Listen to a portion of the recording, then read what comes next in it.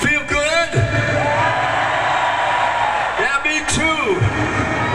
You know, it's a pretty dangerous world these days.